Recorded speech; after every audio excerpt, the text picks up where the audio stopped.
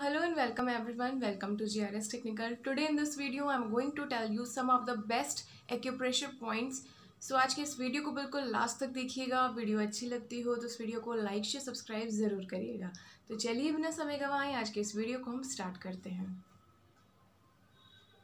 तो फ्रेंड्स सबसे पहले जो आज हम एक्यूप्रेशर पॉइंट्स के बारे में बात करने वाले हैं तो वो है हेयर फॉल का, कि अगर आपको हेयर फॉल बहुत ही ज़्यादा हो रहा है, बाल में पैचेस आ गए हैं तो आप कैसे उसको जल्दी से जल्दी ठीक कर सकते हैं? तो उसके लिए आपको सिंपली कुछ नहीं करना है। आपको अपने इंडेक्स फिंगर का मतलब ये पहले वाला उंगली का, ये जो सबसे ऊपरी भाग है, ये वाला, आपको सिंपली इसको कुछ इस तरीके से प्रेस करना है। दस से पंद्रह मिनट तक इस तरीके से लगातार आपको प्रेस करना है, ठीक है? दोनों फिंगर्स में लेफ़्ट एंड राइट दोनों में इस तरीके से हम प्रेस करेंगे, ठीक है? पॉइंट जान लीजिए पॉइंट यहाँ पे है। इस तरीके से आपको प्रेस करना है, ठीक है? पंद्रह से बीस मिनट तक आप प्रेस करेंगे और आप देखेंगे कि इसको पंद्रह से बीस मिनट तक प्रेस करने के बाद आप कितना ज़्यादा रिलैक्सिंग फील कर रहे हैं। जो भी स्ट्रेस है वो घट जाएगा और आपके जो हेयर फॉल की जो समस्या है, वो बिल्कुल ठीक हो जाएगी। इसके साथ ही साथ आपको एक और एक्यूप्रेशर करना है हेयर फॉल से बचने के लिए, बाल को रीग्रोथ करने के लिए, बाल को मज़बूत बनाने के लिए आपको एक और एक्यूप्रेशर जानना होगा। तो आपको अपने फॉरहेड के बीच में यहाँ पे ये जो पोर्शन होता है, इसको हम पाई हुई बोलते हैं, ये पोर्शन को हमको इस तरीके से प्रेस करना है, ठीक है? अपने नाखूनों से नहीं करना है, इस तरीके से अपने हाथों से इस तरीके से करना है। अगर हो पा रहा है अच्छे तरीके से तो ठीक है, नहीं तो आप टूथपिक जो होता है बंच ऑफ़ टूथपिक उसको उसमें रबर बैंड लगा करके कुछ इस तरीके से कर सकते हैं, ठीक है?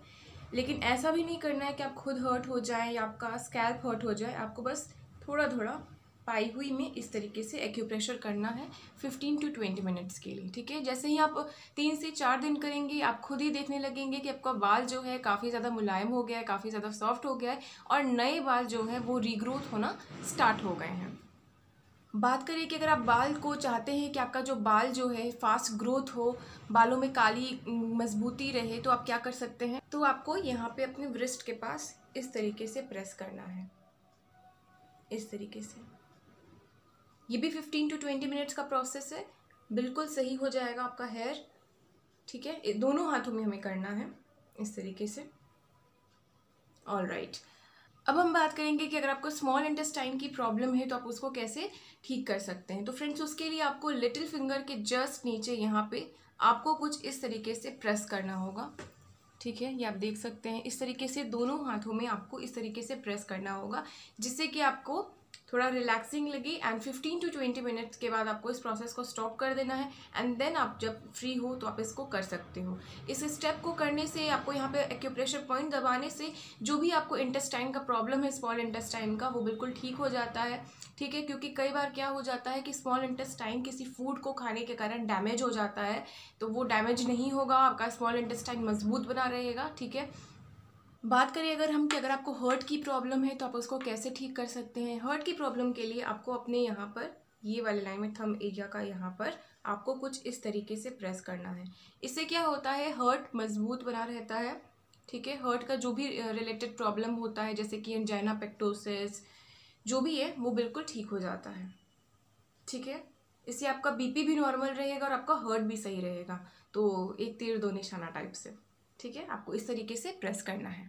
फिफ्टीन टू ट्वेंटी मिनट्स का प्रोसेस है, ज़्यादा नहीं। Next we are going to talk about nausea तो काफ़ी ज़्यादा लोगों को नौसिया की भी प्रॉब्लम होती है तो उसको वो कैसे रिलैक्स कर सकते हैं, कैसे ठीक कर सकते हैं? तो फ्रेंड्स उसके लिए आपको यहाँ पर ये पॉइंट आप देख सकते हैं, आपको कुछ यहाँ पे इस तरीके से प्रेस करना है।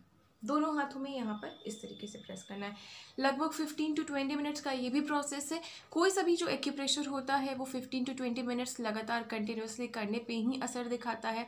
एंड अगर आप उसको कंटिन्यू करते हो तो ही उसका जो असर है, वो आपको दिखता है। ठीक है? ऐसा नहीं है कि अगर आप आज कर रहे हो, कल फिर आपने बंद कर दिया, फिर आप कंटिन्यू करते हो तो आपको असर दिखेगा। आपको इसमें पंक्चुअल होना पड़ेगा। ठीक है? आपको खुद के लिए थोड़ा टाइम निकालना पड़ेगा।